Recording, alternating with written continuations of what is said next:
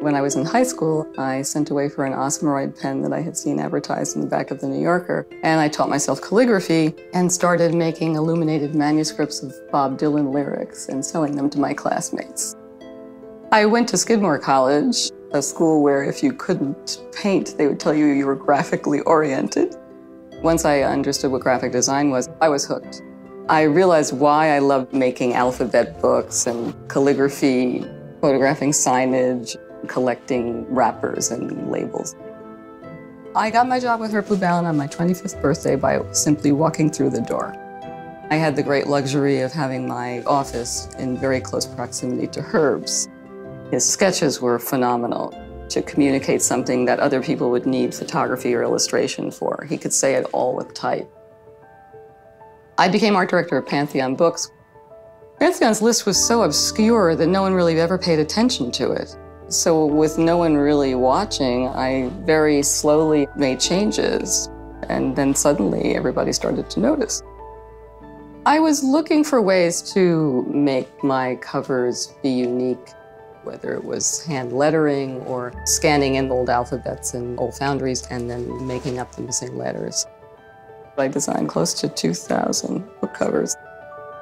I received a fan letter one day from Steve Heller. I still know it by heart. It was, Dear Louise, I just want to tell you that your book and your book jacket designs for Pantheon are excellent, consistently so. Every time I am struck by something in the book room or the incoming pile, it is something that you've been responsible for. Best regards, Steve Heller. That was in 1982, and in 1983 we were married.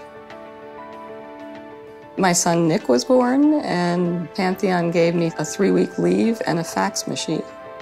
And I saw no reason to go back. it never occurred to me to be scared to strike out on my own. I've always just sort of looked for signs. People have to find you in the phone book. And so I had to call it after myself. And I knew that was somewhat of a liability. But I took this opportunity to send a very clear message. If you have a problem with my being female, I don't want you as a client. I wanted to focus on the three things that I'm passionate about food, type, and all things Italian.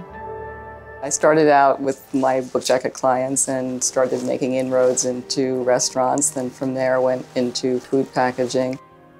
Having come from an Italian household where the main subject of conversation every morning was what to make for dinner, it really should have come as no surprise to me that I would end up working for the food industry.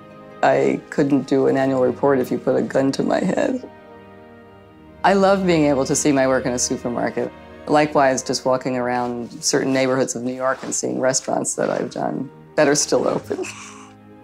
I had all these collections, and then of course, when I met Steve, we started collecting together, and it was the impetus to start doing books together. Having my own projects is really what helps define me as a designer.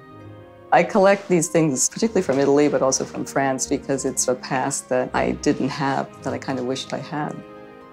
In the last several years, I've been doing books that I write as well as design, which gives me a great opportunity to travel more to Italy and France, which has worked out very well.